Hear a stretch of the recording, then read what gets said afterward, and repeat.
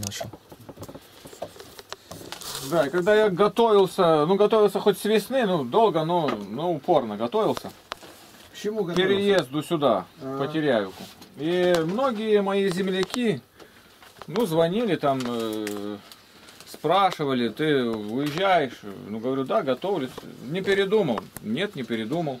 Многие все-таки думали, ну уже зима, ну уже, уже зима, ну почти зима. Да не уеду никогда. Даже не сказать, да ты еще, там один мой сосед э, с Карпат, вот, ну он три месяца работает э, в Подмосковье, а три месяца дома. И он Ну, говорит, Где, где дома? на Украине. И говорит, э, вот я приеду на следующую вахту, моя вахта закончилась, через три месяца, говорит, приеду, я тебя еще застану. Но он не застал, то есть. Ну и такие были разговоры, то есть, э, зачем ты едешь? Вот, э, ты можешь купить землю или там дом у нас на Украине, там у тебя все есть, э, есть возможность. Ну, на что я отвечал, что вам, конечно, трудно понять, мне трудно вам объяснить, потому что вы не понимаете, что такое вера истинная, когда ты всю жизнь свою отдаешь в руки Господа Иисуса Христа, и ты живешь совсем по-другому. Абсолютно, это, ну, это трудно объяснить. То есть, возможно, лет шесть назад мне, наверное, трудно бы кто-то объяснил. Хотя я не встречал, вот не встречал я вот э, до какого-то, получается, года. Сейчас. Ну, до 11 года я не встречал. Может, я не интересовался, не искал. Ну, не было, не было компьютера, конечно. А так ты не везде ты встретишь. э, Это, это сложно. Благодаря, конечно, компьютеру вот это знакомство и, и к вере я пришел истиной. Благодаря компьютеру. Это правда. И сюда попал.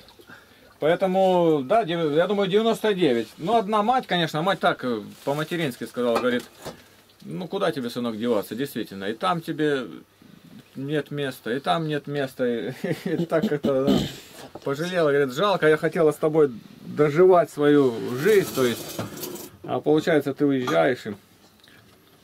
Вот. Ну, еще мой товарищ, мы вместе с ним как бы детство провели, мы росли. Вот, вместе. И он, ну, он один единственный, который немножко меня понял там. Ну, он уже не, в последнее время много смотрит ваших роликов. Э, Он знаком с сайтом, там, ну, постепенно движение к Богу началось у него. Поэтому и понимание появилось. Хотя, я думаю, не до конца. Это сложно понять. Но они, когда тебе говорят, у тебя не возникает ну, свободное время, чтобы ты так вот остался один, и их слова всплывали перед тобой, и ты начинал думать о самом деле. Может быть, и раскаюсь когда-то. И тогда эти товарищи, которые говорили, ну что, убедился, что мы правы были. Нет, никогда этого не было. Никогда, ни разу. Э, было одно, вот, э, когда я уже затянул, действительно смотрю, уже, уже и морозы начинаются, и это, и я как-то так, э, ну, может, искушение такое небольшое было. Я начал молиться, Господи, а может у меня другая, другой путь? Почему так? Не, ну, вроде, вроде не получается, как будто уже. Ну и попросил Господа, говорю, Господи, ну если, если что-то действительно не так, может что-то где-то я ошибку сделал, может не, ту- не туда ступил, подскажи через кого-то. И вы представляете, в те- в течение часа мне звонит Надежда Васильевна. Это было где-то, это было еще где-то в конце сентября. Вы были у Потеряевки. Да. Ну, Роман, в течение часа это произошло. То есть она звонит, Роман, ну где вы? У меня холодильник э, поломался, не работает. Э, Когда вы приедете? Я говорю, ну не знаю, уже собираюсь, вот-вот, вот. Ну, а то мы здесь э, откроем мастерскую, напишем э, ремонт там, э, как-то она говорит, мастерская по ремонту бытовой техники, что ли, такой. Ну, говорю, хорошо. То есть буквально Господь в быстрое время меня утвердил в этом. Вот. А так, э, даже если взять веру, вот бабушка Агафья, моя по линии э, матери, то есть она была э, верующей, она читала Библию на старославянском. Вот, она была припоясана. Ну, это, возможно, она считала, что это элемент одежды нашей гуцульской. Но она была припоясана. Э, На моих глазах происходили разные вещи. Конечно, я тогда не понимал многого. Но это было заложено в моем раннем детстве. Вот сегодня вы э, на собрании говорили, действительно, у евреев есть такая пословица, что дайте нам ребенка до пяти, на воспитание до пяти лет, а потом делайте с ним что хотите. То есть основное воспитание, основное, что воспринимает э, ребенок, это до пяти лет. Основную массу мировоззрения Ну, я сделал, сделал исключение, что это когда они берут во внимание благодать Духа Святого. Благодать Духа Святого очищает и с нуля начинает. Я вот, я сколько знал под обращение, сказать невозможно, сколько я учился. Я понял, не нужно. Когда говорю, люди не, не верят. Я говорю, а ты веришь, что вот я помолился, и Бог дал мне знание Библии, память? Но это верим.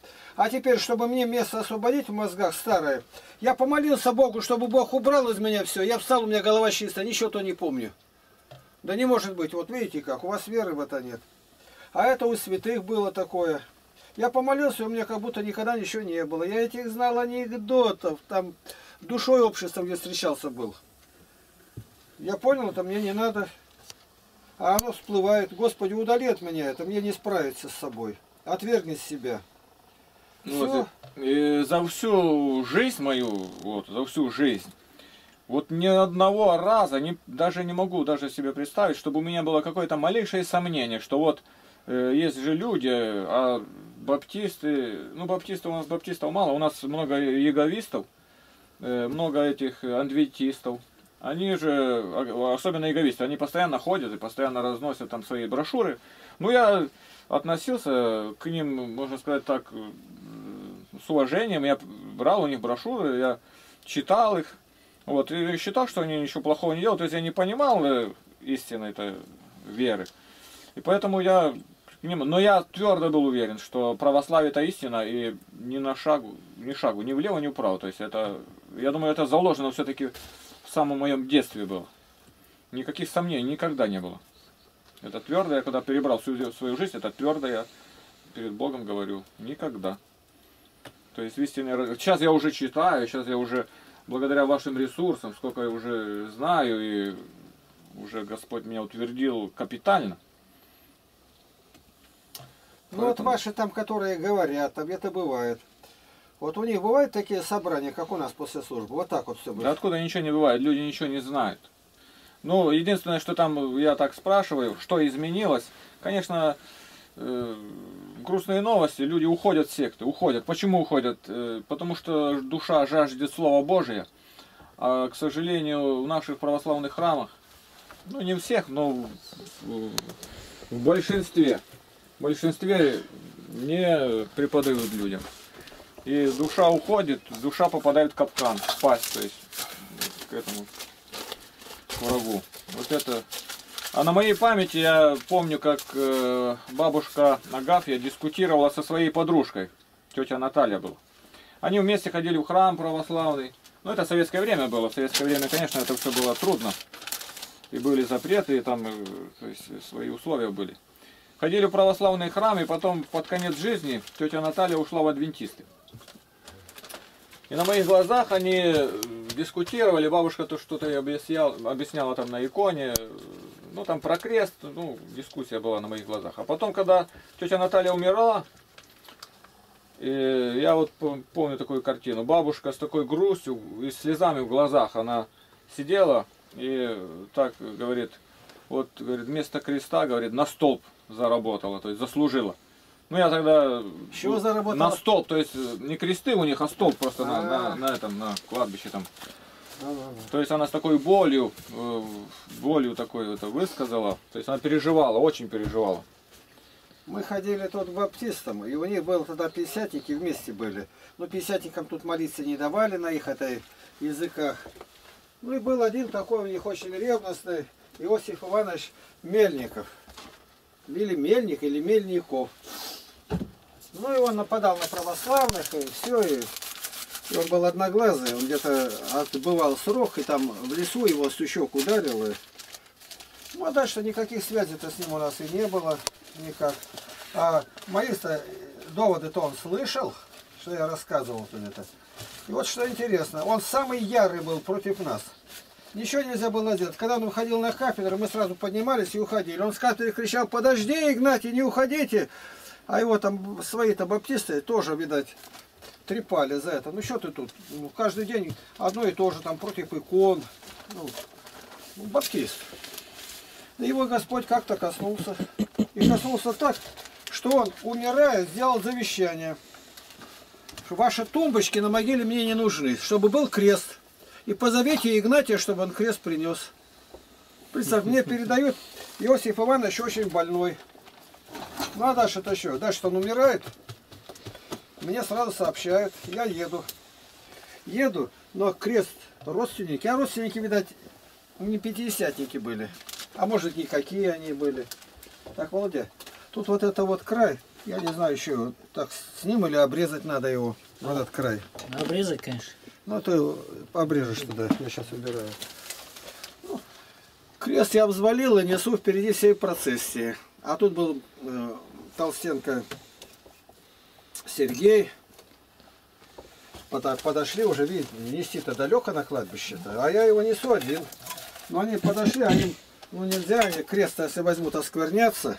А тут и, видимо, забыли про все и подходят. Ну давай мы понесем. Видишь, что я тяжело крест одному нести. А я не даю. Так и не дал никому. Не дал. До конца донес. Они, о, больше радости нету, как нести крест за отступником братом. Всю жизнь работал для Бога, а теперь к идолопоклонникам подался. Иосиф Иванович. Вот такое я знаю. Я знаю силу молитвы. Иосиф Иванович был самый ревностный из пятидесятников у баптистов, а пятидесятники более ревностные, чем баптисты, в большинстве своем. Так, Володя, Чё? я опасаюсь упасть, ты подними туда. А там лежит уже. Ну, маленько ее сдвинь, а эту положи рядом. Сейчас. Поднять надо, убрать. Ничего на печку не ложить. Это пойдут на семена. Дай-ка я руки вымою. У нас маленько протекает вот это ну, ворожок. Там мы баночку ставим вот сюда, под нее. Вот помыть руки, тогда а, уводим. А потом место поставим. И вот Иосифа Ивановича, это, когда хоронил, так это у них тут вошло, понимаете, в такое недоумение, что никто так с православием не воевал. Никто, как он.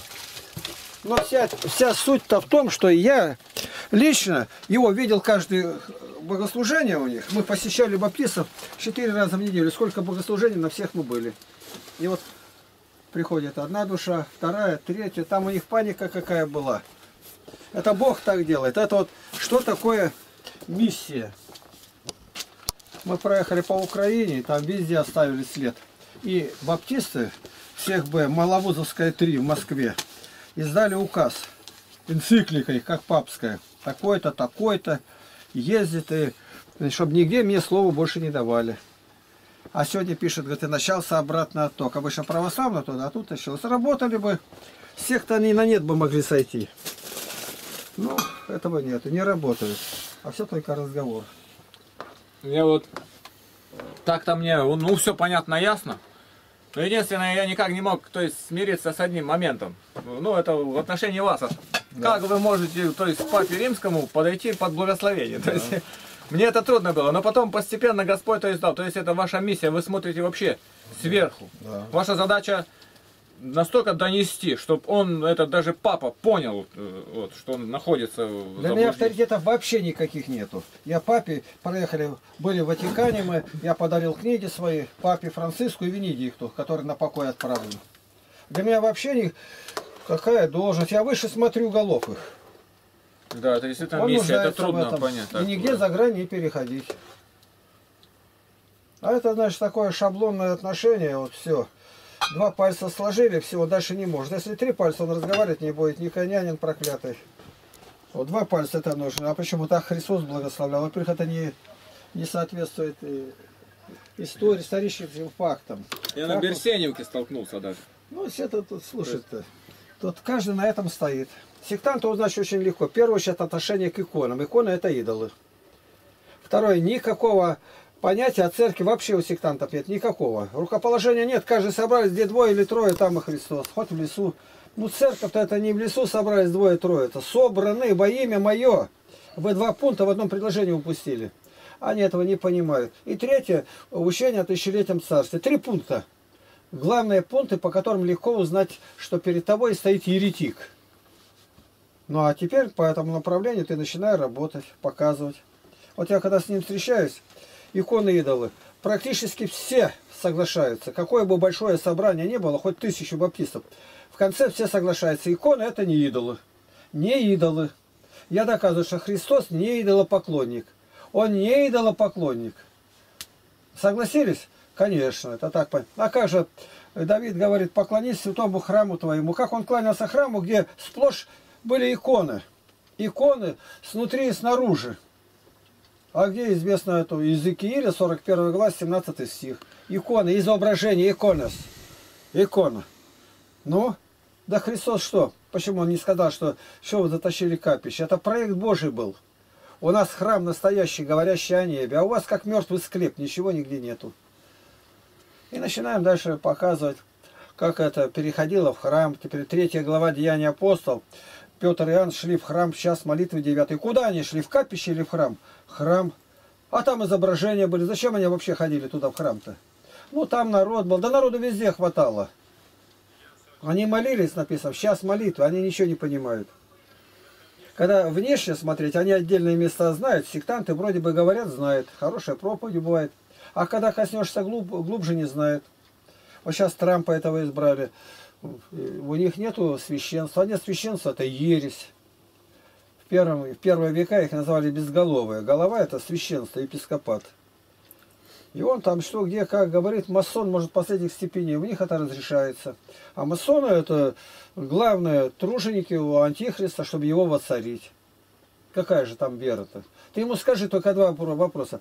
Ты можешь выступить перед своими и галстук снять? А никак не может он. Он висит на этом галстуке. Да, ты удавка. Все. Он уже их Даже это не понакидывал им, да. Даже простенькие, которые там стоят, гляжу, у баптистов, везде там все эти, которые мужчины в галстуках. Маленькие мальчики уже все в галстуках. Сказать, зачем? Что это к одежде относится? Он греет тебя, нет, удавка. Тебя вот этот был, Саша Билый-то. Ну, был у нас там, да. Ну, и он их за галстука там прокурора таскал, показывал. Взял его и все. Ну и э, бывают такие вопросы задают, то есть, э, то есть ты что, к староверам подался и это, ну, я думаю, земляки по-любому будут смотреть это Ну видеоролики, уже смотрят, скорее всего. Вот, э, мы православные, вот даже иговист у меня знакомый, он говорит, Роман, ты ходишь в дом торговли, прямо так, я говорю, ну тогда еще говорю, ну я, конечно, изменить ничего не могу, но это еще до, зна- до знакомства с вами. А сейчас, когда я уже здесь, я смотрю, не торговли. Когда еще молодым был, ходим, ходил как бы туда, на Украине, в наш храм, я видел этот хаос такой, бабушки там разговаривают, шум такой, дети, гам, плачут, свечами жонглируют там, я, у меня внутренний когда голос, господи, неужели это в твоем доме так, у меня вот как-то внутри вот это кипело немножко. Но Господь так сделал, что я попал в тот храм, который душа моя хотела, то есть здесь не торговля, здесь ну, не идеально, допустим, там, конечно, это нельзя идеально, но дисциплина капитальная, нигде такого я не встречал. Даже в Подмосковье храм, вот этот батюшка, о котором я рассказывал, Александр, я зашел в храм, и говорю, почем свечи? Она говорит, это свечи не продаются, то есть они так, бери. Потом имена писать, вот это э, за умерших, за о тоже, а иногда бывает в очереди стоишь, там бухгалтерия, она там на калькуляторах э, печатает, там надо еще прийти, наверное, за два часа до, за литургией для того, чтобы успеть вот это все сделать, очередя. Здесь ничего нет, торговли нет, тишина, порядок. Вот это то, что хотела моя душа. Это действительно это истинное православие. Благовестие. Яговисты говорят, да, православные, вы там не благовествуете. Вот, пожалуйста, вот пример. Мы благовествуем. Но им э, никогда не совершить то, что мы совершили. Никогда от океана до океана. От севера Баренцева Да. моря до Южного, до Турции с той стороны. Это невозможно. Это нельзя. И притом не просто идти, а такое давать свидетельствовать. Ой, хорошенькая моя. Давай сюда. Давай, давай, давай, давай. Вот так. А то упадешь на печку-то. Давай, иди ешь, пей. Вот они, когда говорят, а не знают. Если я говорю об баптистах, я у них де- десятки, наверное, лет посещал каждое богослужение. Братский вестник у меня целые пачки были. Вестник истины, отделенные баптисты. Я знаю, о чем говорить. Они никогда ни журнала не держали, ни службы не знают. А я у баптистов с кафедры проповедовал в разных-разных городах. Столичных, как Киев, там, сейчас не знаю, Харьков. Ну, даже трудно назвать, где я у них не проповедовал. Поэтому я могу выделить, вычленить то, что у них есть хорошее, показать. Это надо принимать. А как вы можете говорить хорошо о Невзорове? там Александр Глебович. Ну как, я вижу то, что он говорит правильно, а что неправильно. Вот он сказали тебе, это идешь в дом торговли, да, дом торговли, пока ничего не можем сделать. Но дом торговли, люди в этом не были виновны, которые приходили. Бог их не... Кого выгонял? Которые участвовали в этом. И продающих, и покупающих. Он не всех выгнал. Мы не продаем, не покупаем. Вот и весь ответ. Да, он дом торговли, но в, доме, в доме торговли были люди верные Христу. Христос приходил, исцеление давал, купальни и прочее. Ну, а мы должны согласиться. Да, у нас скажут, да у вас тут вертеп разбойников. Да, вертеп разбойников. Вот у нас этого нет. Торговли нету, еще, но в других-то местах есть. Это вертеп разбойников. Мы это скажем. Почему? Не трудятся пастыри. А если бы сейчас вам дали вот большой такой храм, где тысячи людей идут, ну и сразу закрыли бы храм и начали во дворе учить, а потом по одному, покаявшись, заходить. Священники прошли бы вот это огненное ощущение, чистилище. Вот и все. Тебе во сколько ехать-то? Поезд 9.40. В 9.40 поезд отходит. Сейчас сколько? Да, еще пол девятого я уеду. Пол девятого. Время уже полдевятого. А? 3-4 минуты уже. Смотри, чтобы Да? ты не Ну, отстал. Давай-ка. давай. Ну все тогда. Что тут у меня? Вот, книга лежит. Кто положил? Все? Да, все.